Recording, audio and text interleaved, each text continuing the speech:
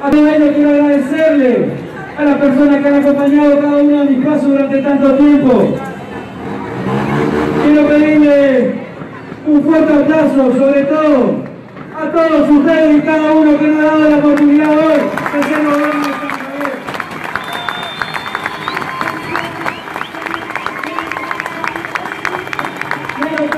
humildemente, humildemente quiero pedirle al compañero y actual intendente, Elio Leme, quiero pedirle que lo que no sé que me enseñe, no tengo vergüenza, quiero tener una municipalidad con las expectativas del pueblo.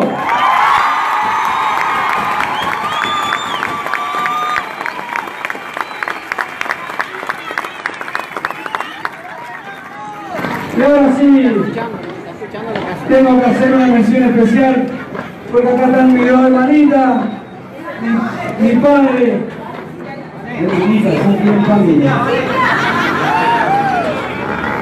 Pero hay una persona que es bastante de nosotros, que para mí es la persona más importante del mundo, que la que quiero agradecerle cada noche que estuve con él y compartí todo lo que me ha enseñado, porque sé hace mucho tiempo está militando,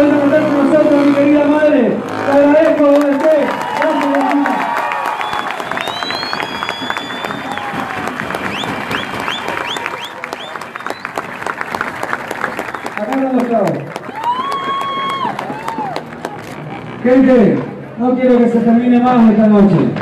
Quisiera darle el micrófono a cada uno de ustedes y que cada uno de nuestros sueños se haga realidad. No empecé con el mío porque no dejé de pelear por él. Les pido que a partir de ahora peleemos juntos por realizar cada uno de los sueños de las personas que viven en San Javier. Este lugar se merece mucho más y vamos a tratar de estar a la altura